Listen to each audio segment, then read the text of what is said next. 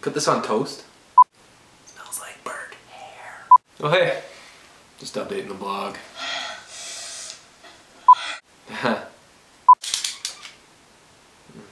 Hi there, just banging out my latest blog entry.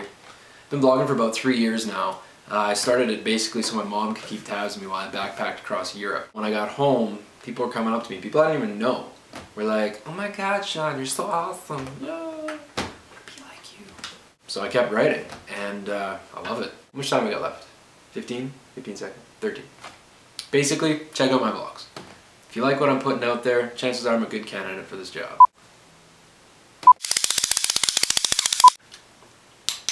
Actually pretty good. It's like beef pudding. Mmm. I could literally brush my teeth with this stuff.